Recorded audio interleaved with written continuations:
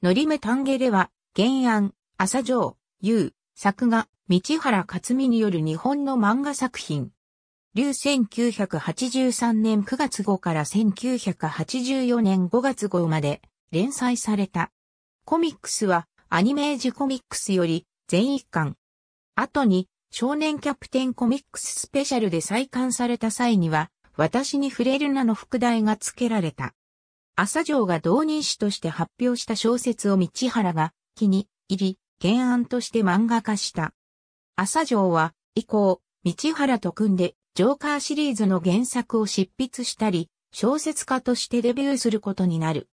第三次世界大戦を経て、人類は大脳工学を発展させて新たな技術を手に入れると、共に意識改革をなし、西暦を銀河暦と改め、新たなる文明を築いていた。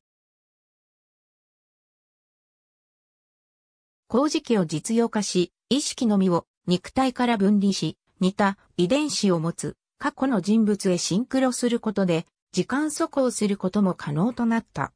時間速行は歴史調査局の手によって管理されていた。しかし、歴史の流動性を標榜する学者が歴史を改変するために過去へと速行する。そのシンクロ相手とは5000年前のナザレのイエス。調査官ベアダルはイエスの行動を監視し歴史改変を阻むためにイエスの使徒の一人、シモン・ペテロへとシンクロする。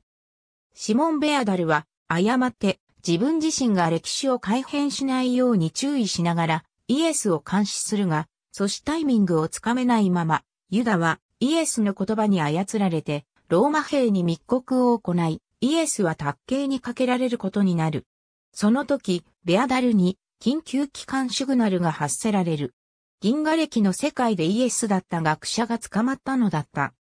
面会したベアダルは、学者から復活したイエスが民衆を率いて打倒ローマの武力闘争へと進む計画を聞かされる。ベアダルは再び5000年前に時間速行し、卓形にかけられているのがイエスではなく替え玉であることに気づき、隠れていたイエスを見つけて、これを倒した。ありがとうございます。